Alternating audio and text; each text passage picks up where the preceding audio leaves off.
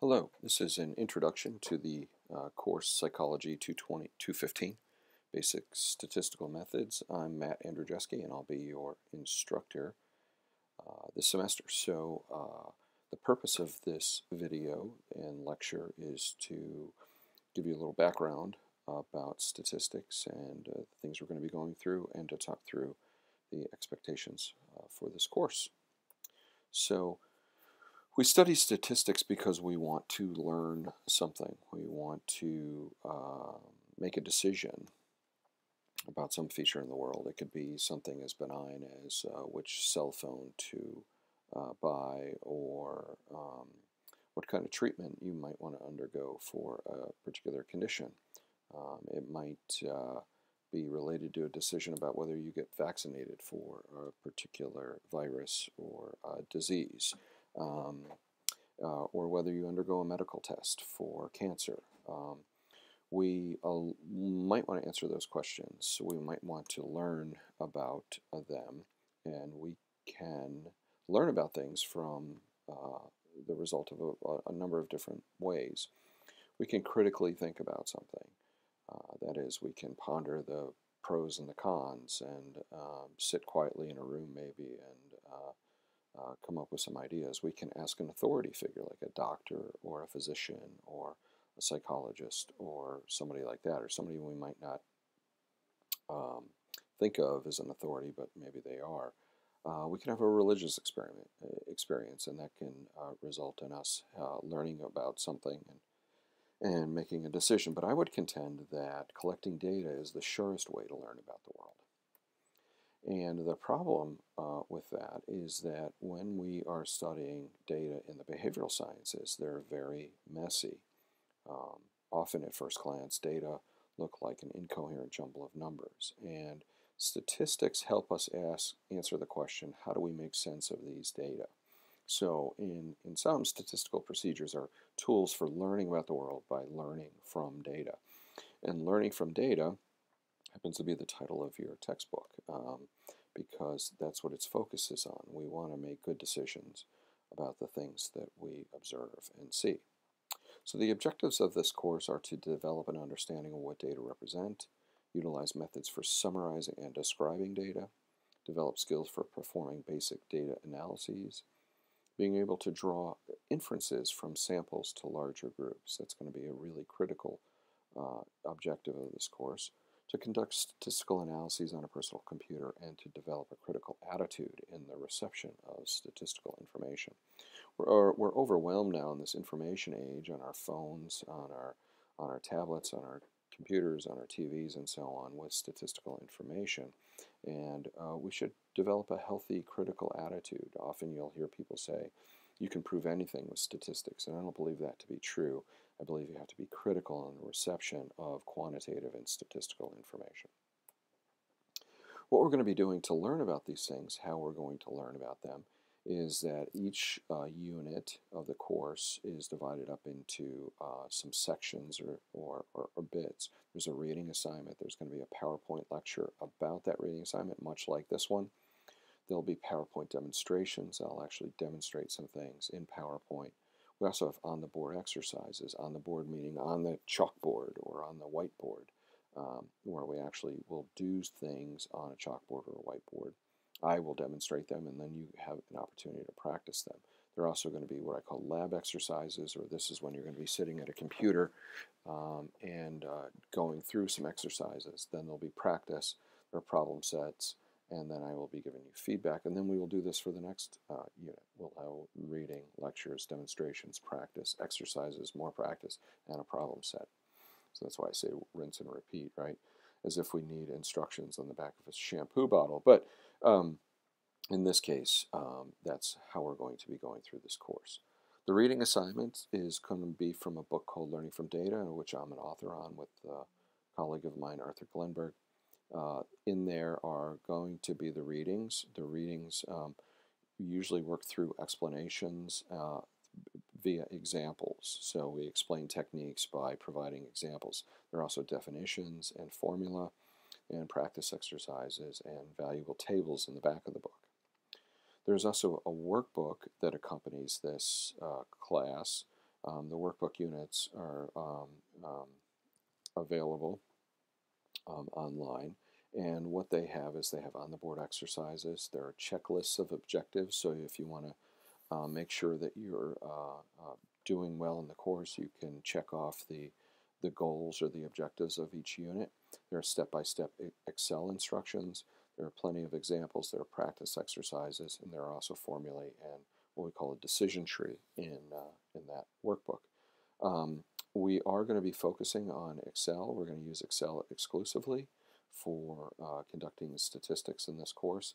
You might hear from other people or in other class sections. Um, um, some sections uh, instructors don't teach any uh, computer use. In other class sections, they might use a more sophisticated um, tool, maybe called, uh, some of you may have heard of, it's called SPSS on, on this campus. Um, I've chosen to take sort of a middle ground. Excel is a very powerful program, and it can be used for not only statistical analyses, but can be used in a variety of other contexts that might be useful for you. So if you're a business school major um, and you've encountered any accounting, um, then you're probably doing it in a spreadsheet like Excel. But Excel can also be a database, it can also generate graphs, and it's pretty user friendly. That uh, contrasts with SPSS, which does one thing, and that is it conducts statistical analyses. Um, nobody does uh, statistical analyses by hand anymore, um, or, or, I think their, their, their utility is fairly limited, and it turns out that human beings make mistakes, and we make mistakes all the time. So computers don't make mistakes. They do exactly what we tell them to do. So that's why I've opted for Excel over the other options. This is what Excel looks like. Um, if you've never used Excel before, um, that's okay. The first unit in the workbook is an introduction to this program. I'm a Mac user. This is a Mac capture of an earlier version of Excel. Um, in the workbook, I have captures of several different Excel um, uh, uh, versions, but um, they all pretty much look the same. The, the, the headers and some of the menus might be a little bit different, but um, utility is and functionality is preserved across the, uh, the entire uh, list of versions.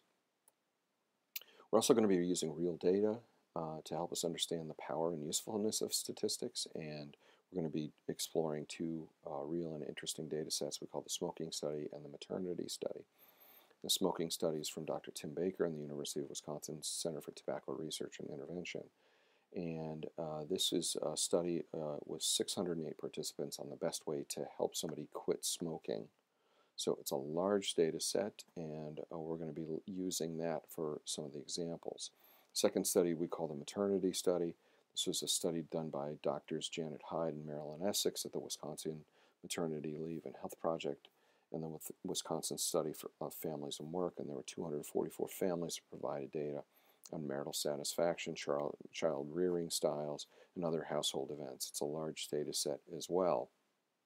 Um, the reason we focus on these two data sets is that uh, we can illustrate a number of different techniques using the same data without having to introduce a new study or a new experiment.